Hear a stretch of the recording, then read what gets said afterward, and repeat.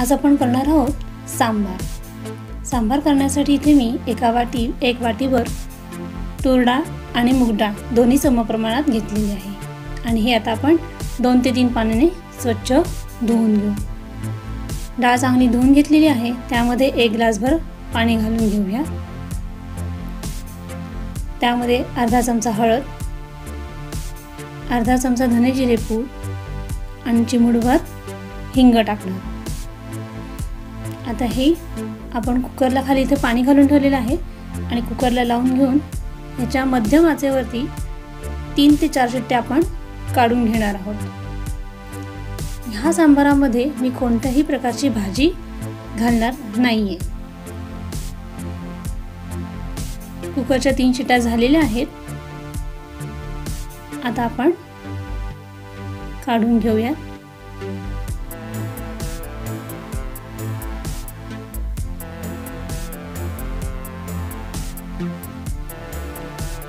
हे पहा आपली डाळ इथे छान अशी शिजलेली आहे. आता आपण ते काढून घेऊ.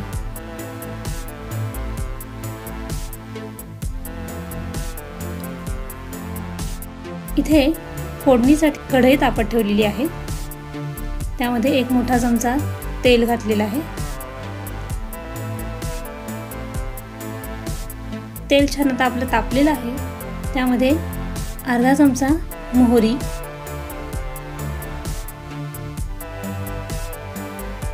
अर्धा चमचा जिरे.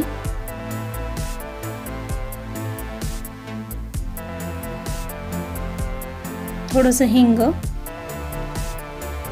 दोन ते तीन लसणाच्या पाकळ्या ठेचून टाकलेल्या आहेत.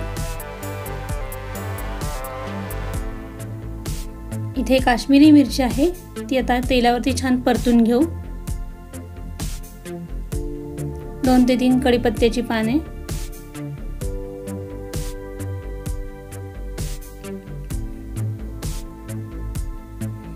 हे सर्व परतून झाल्यानंतर त्यामध्ये बारीक चिरलेला कांदा. इथे मी मध्यम आकाराचे दोन ते तीन कांदे घेतलेले आहेत. हे परतून घेऊयात. एक मोठा टोमॅटो बारीक चिरून घेतलेला आहे. हे सुद्धा आपण परतून घेऊ. त्यात अर्धा चमचा मीठ घालून ते मिक्स करून घेऊ.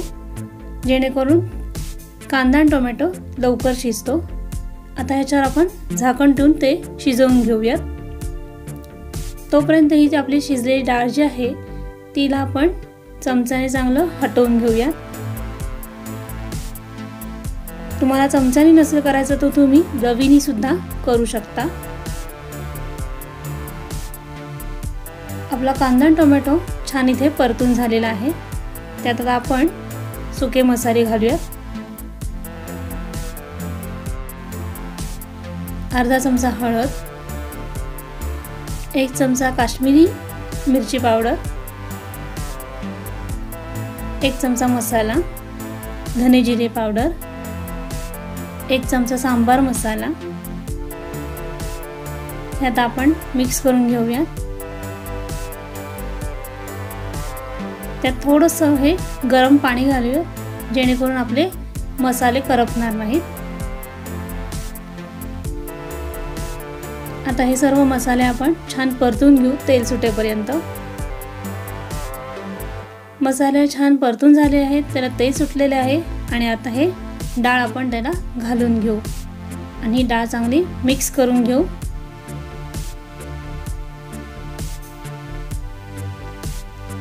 डाळ चांगली मिक्स करून घेतलेली आहे इथे. त्यामध्ये गरम पाणी घालून जे भांड्याचा विसळ आहे तो घालून घेतलेला आहे. तसंच डाळ कितपत आपल्याला पातळ हवे आहे त्यानुसार गरम पाणी घालून घेऊ. डाळ छान मिक्स करून झाली आहे. त्याच्यामध्ये आता आपण हा चिंच आणि गुळाचा कोळ टाकून घेऊया. दोन मोठे चमचे चिंच आणि गुळाचा कोळ टाकलेला आहे. चवीनुसार मीठ थोडंसं गूळ.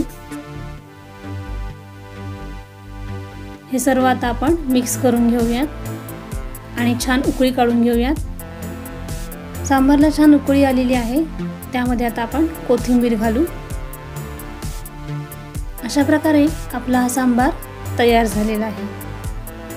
कोणतीही भाजी न वापरता हा सांबार खूप सुंदर लागतो. तुम्ही एकदा नक्की करून बघा. असा सांबार इडली उत्तप्पा किंवा अप्पम ह्याच्याबरोबर छान लागतो. जर तुम्हाला माझी ही रेसिपी आवडली असेल तर नक्की करून बघा.